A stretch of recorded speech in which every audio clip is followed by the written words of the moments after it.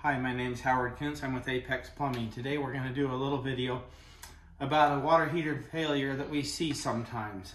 And what it seems to be is the bulging of the tank. So um, what, what can happen with these water heaters is we have these thermal expansion tanks right here.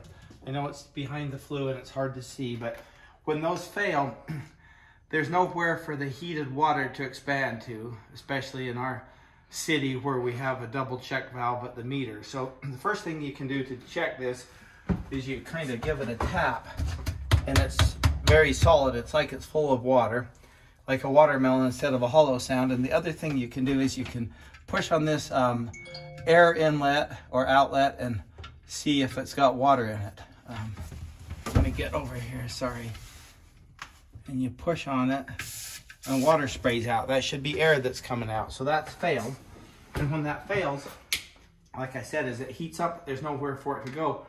And so it bulges the tank. Look at these two uh, pipe nipples, the inlet and the outlet. They're tilted together at a crazy angle.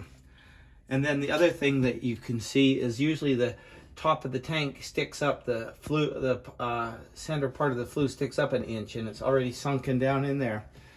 And then the last thing you can do is you can we've already done it. We pulled the burner out and you can see the tank, how it's really crazy bulged um, down there. It'll take a little bit of doing, but we can show you that.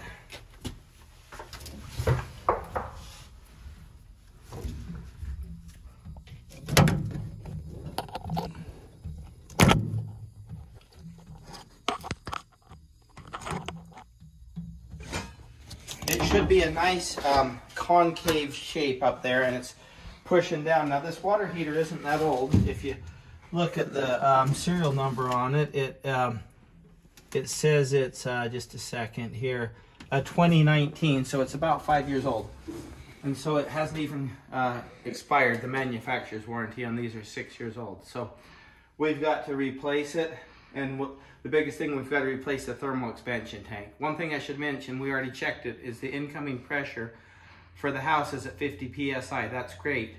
If the pressure reducing valve had failed, the pressure regulator, we would expect to see closer to 100 and then that could have caused the tank to um, fail. That's not the case in this case. This just failed and then it caused the water heater to fail. Thank you for watching. Please uh, subscribe to our channel.